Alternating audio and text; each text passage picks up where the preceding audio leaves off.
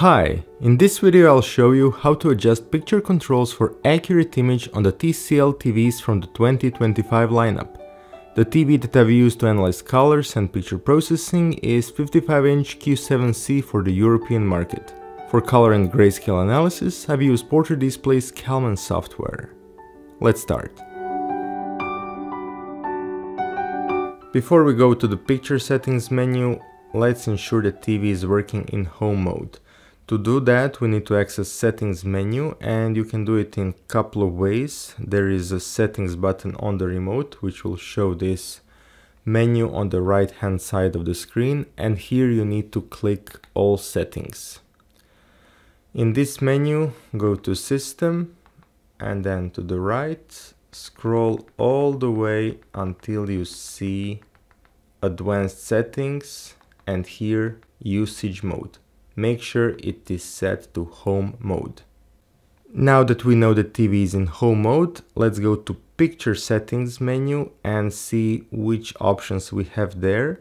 So previously I pressed the settings button to see this menu on the screen and then open all settings. But you can also press button with three horizontal lines and you will see this menu at the bottom of the screen. Here you can also open settings, but you can also open just picture settings or you can change picture presets right here from this menu. Now let's open picture settings and see which options we have. So first option is picture preset.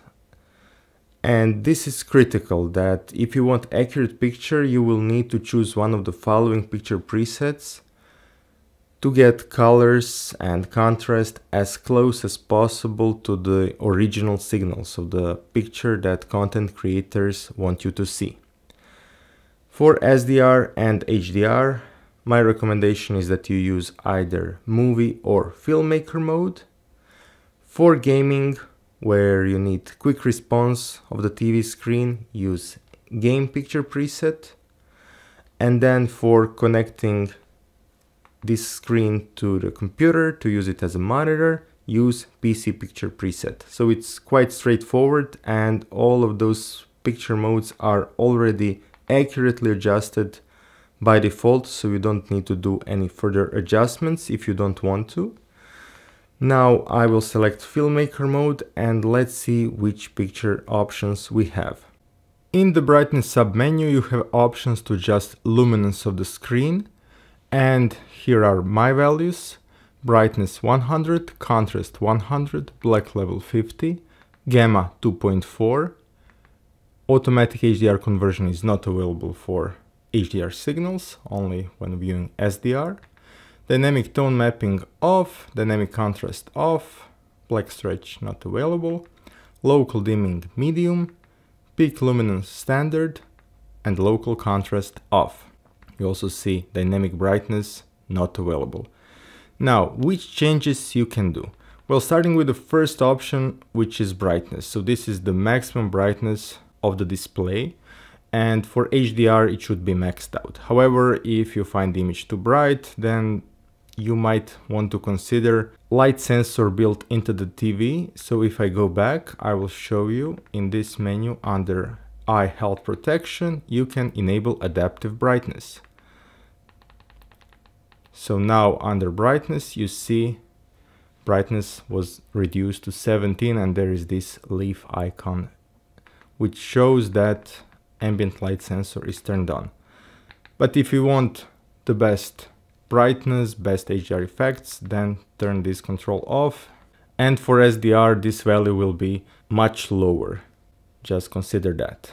Contrast and black level, it is recommended that you keep at default Gamma, my preference is 2.4, which is the closest to the reference EOTF curve.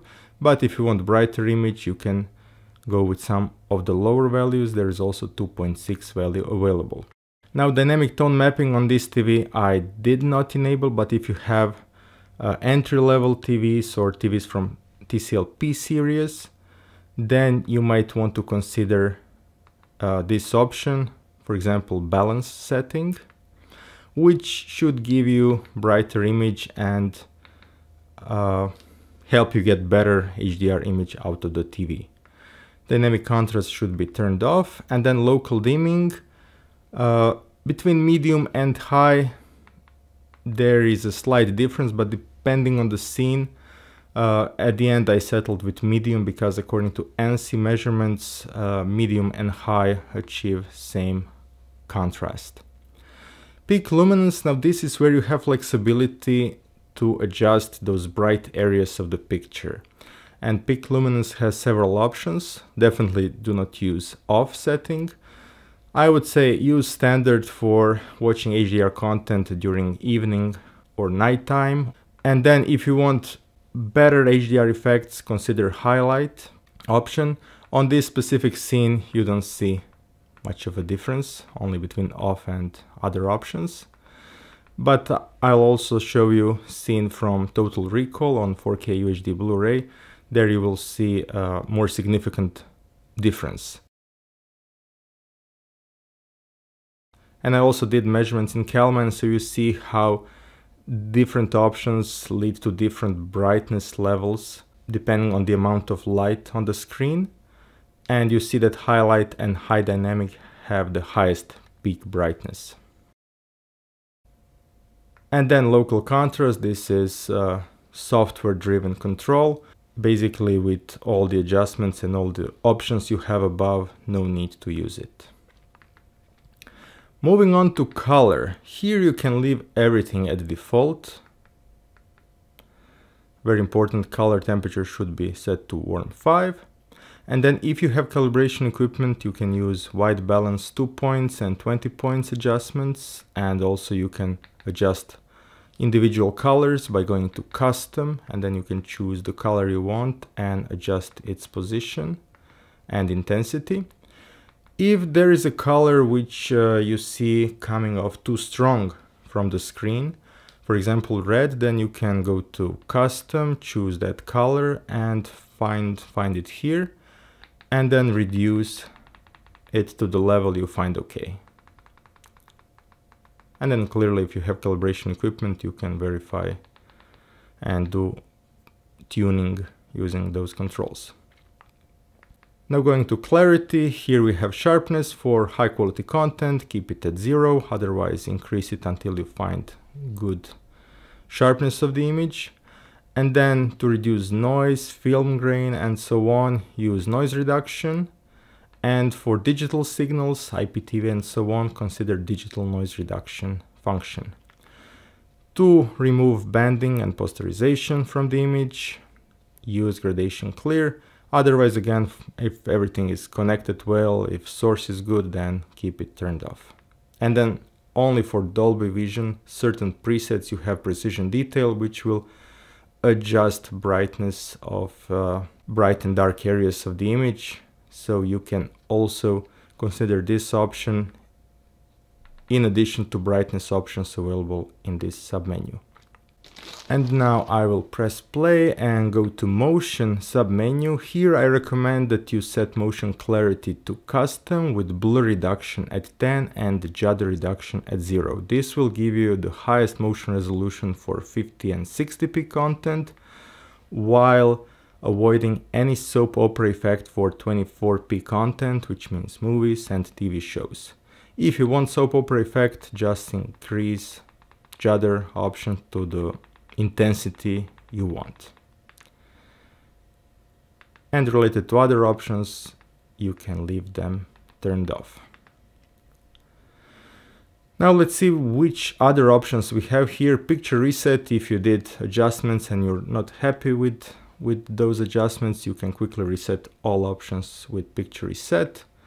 Apply all picture modes so we can have picture mode adjusted in one way for all inputs or if you set to current source then you are individually controlling that picture mode for that source.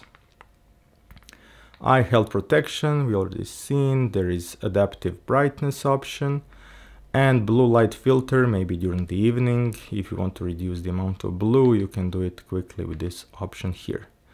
Automatic content recognition will trigger filmmaker mode but if you have filmmaker mode activated then no need to use this option. And for calibration if you want software to control the TV and do the adjustments there is this sub menu here. Now quickly let me open all settings menu that we see if there are some other options so under display and sound there is also screen settings here you have auto format and screen mode and you have different options here for example, when viewing CinemaScope movies, you don't want to see black bars above and below picture.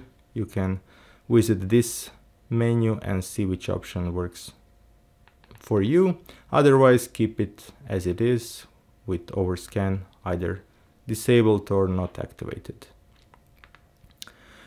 And then here in the full settings menu, there is under channels and inputs, external inputs.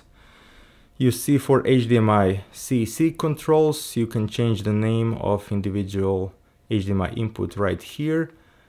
Uh, for HDMI Advanced Standard, go with on or auto to enable full bandwidth of that port.